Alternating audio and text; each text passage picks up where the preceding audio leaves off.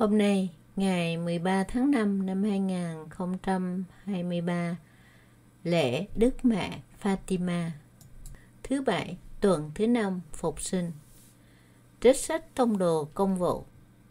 Trong những ngày ấy, Phaolô đến Derbe và Lystra. Ở đó có một môn đồ tên là Timotheo, con của một bà Do Thái đã tin đạo. Còn cha là người dân ngoại. Các anh em ở Lystra và Iconio chứng nhận anh là người tốt. Phaolô muốn anh đi theo mình vì nếu người Do Thái ở trong vùng ấy nên Phaolô đã đem anh đi cất bì vì mọi người biết cha anh là người dân ngoại. Khi hai ngài đi ngang qua các thành phố, hai ngài truyền lại cho họ tuân giữ những giáo lý do các tông đồ và kỳ lão tại Jerusalem đã quyết định. Nhờ vậy, các giáo đoàn được vững mạnh trong đức tin và mỗi ngày càng tăng thêm đông số. Các ngài đi qua Phrygia và vùng Galatia vì Thánh Thần ngăn cản không cho rao giảng lời Chúa tại Tiểu Á. Khi đến Mysia, các ngài tìm cách đi Bithynia, nhưng Thánh Thần của Chúa Giêsu không cho phép.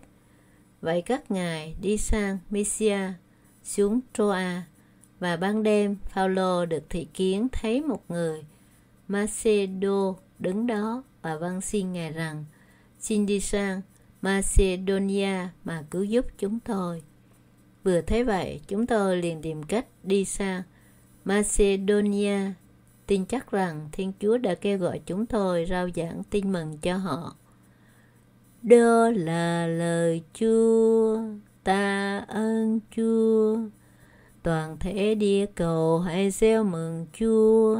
Toàn thể địa cầu hãy gieo mừng Chúa. Hãy phụng rự Chúa với niềm vui vẻ. Hãy vào trước thiên nhang với lòng hân hoan khoái trang.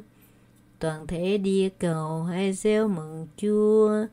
Hãy biết rằng Chúa là Thiên Chúa, chính người đã tạo tác thân ta, và ta thuộc quyền sở hữu của người.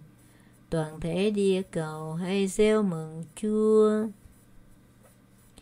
Vì Thiên Chúa, người thiện hào, lòng từ bi người tồn tại muôn đời, và lòng trung tin còn tới muôn muôn thế hệ toàn thể địa cầu hãy gieo mừng Chúa. Alleluia, Alleluia, Thầy sẽ xin Chúa Cha, và người sẽ ban cho các con một đấng phù trợ khác, để ở cùng các con luôn mãi. Alleluia. Tin mừng Chúa Giêsu Kitô theo Thánh Gioan. Lạy Chúa, vinh danh Chúa. Khi ấy Chúa Giêsu phán cùng các môn đệ rằng nếu thế gian ghét các con, các con hãy biết rằng họ đã ghét Thầy trước.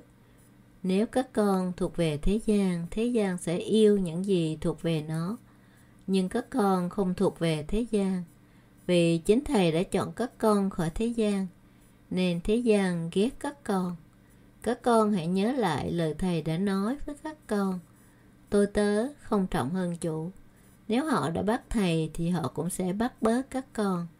Nếu họ tuân giữ lời thầy thì họ cũng tuân giữ lời các con. Tại vì danh thầy mà họ sẽ làm cho các con tất cả những điều đó. Bởi vì họ không biết đấng đã sai thầy. Đó là lời Chúa. Lạy Chúa Kitô người khen Chúa. Vì thuộc về thầy Giêsu anh em không thuộc về thế gian và Thầy đã chọn, đã tách anh em khỏi thế gian, nên thế gian ghét anh em. Gioan chương 15 câu 19b Suy niệm Thật dễ hiểu khi thế gian ghét các môn đệ Đức Kitô chỉ vì họ thuộc về Ngài chứ không thuộc về thế gian. Các Kitô luôn phải lội ngược dòng trong thế gian này vì không thỏa hiệp với điều xấu, điều ác, sống đức tin làm chứng cho tin mừng ở giữa thế gian và để thánh hóa thế gian chính là cái thập giá mà dạy các môn đệ phải vác để đi theo Ngài. Vì thập giá, Kitô hữu bị coi là điên rồ, yếu đuối, trước con mắt thế gian. Thư thứ nhất của Thánh Phaolô Tông Đồ gửi tín hữu Corinto, chương 1, câu 17 đến 25. Nhưng tất cả những điều đó đều không đáng kể so với mối lợi tuyệt vời là được biết Đức Kitô được thuộc về Ngài. Quả thật, phần thưởng Chúa Kitô hứa cho những ai trung thành đi theo Ngài là được nước trời làm gia nghiệp, được thuộc về Ngài trọn vẹn và mãi mãi. Mời bạn là con cái ánh sáng. Các Kitô hữu can đảm và mạnh dạn bắt tập giá mình mỗi ngày để bước theo Chúa Kitô. Đó là dám từ bỏ lối suy nghĩ, ứng xử theo tinh thần thế tục và chấp nhận những khó khăn, đau khổ, kỳ thị và cả những bất hại của thế gian. Đó là thân phận của người môn đệ Chúa Kitô.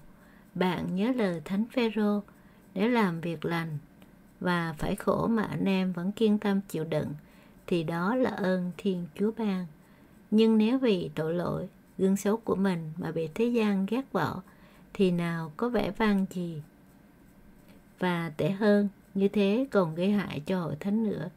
Sống lời Chúa, kiên trì làm việc thiện không sờn lòng nản chí, theo lời Chúa dạy, dù có bị cho là điên rồ, hèn kém.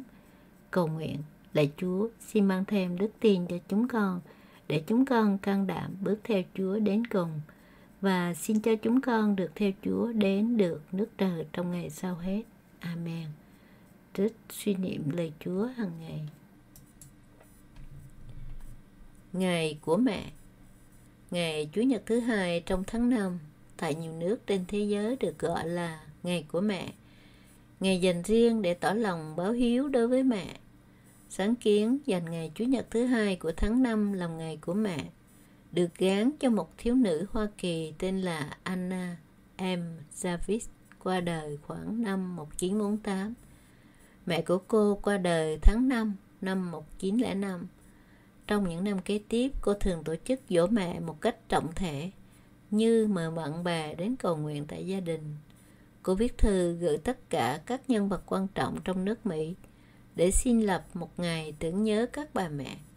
Tiểu bang nơi cô đang sống đã chấp nhận đề nghị năm 1913 và ngày 10 tháng năm ấy, Quốc hội Hoa Kỳ cũng thông qua đề nghị nhận ngày Chủ nhật thứ hai trong tháng 5 như một ngày để ghi ơn các bà mẹ.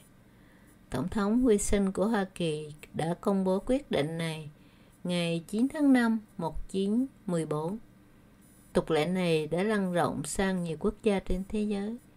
Trong ngày nhớ mẹ, người con thường cài trên áo một bông hoa cẩm chướng màu trắng nếu mẹ đã quá cố và màu hồng dành cho những ai còn mẹ.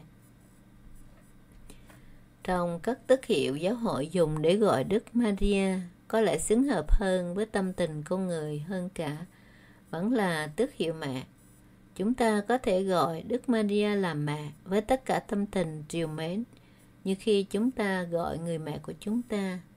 Do lời trăn trối của chính Chúa Giêsu công mẹ, mẹ đã trở thành mẹ của giáo hội. Qua môn thế hệ, mẹ không ngừng cưu mang, sinh ra và dẫn dục các tín hữu trong đức tin. Niềm hạnh phúc của bất cứ người mẹ nào vẫn là thấy con mình được nên người – Mẹ Maria chăm chú theo dõi và lo lắng cho từng người chúng ta. Niềm vui của mẹ chính là thấy mỗi người chúng ta được lớn lên theo hình ảnh của Chúa Giêsu con mẹ. Chúng ta mang đến cho mẹ những bó hoa trong suốt tháng 5, tháng 10 và trong từng lời kinh dâng lên mẹ. Nhưng có lẽ mẹ sẽ sung sướng hơn mỗi lần nhìn thấy sự trưởng thành nơi chúng ta. Mỗi lần chúng ta lớn lên trong ân phúc, trong bác ái yêu thương trong hy vọng tin yêu đó là những bó hoa tốt đẹp nhất mà chúng ta dâng lên mẹ bài trích sách lễ sống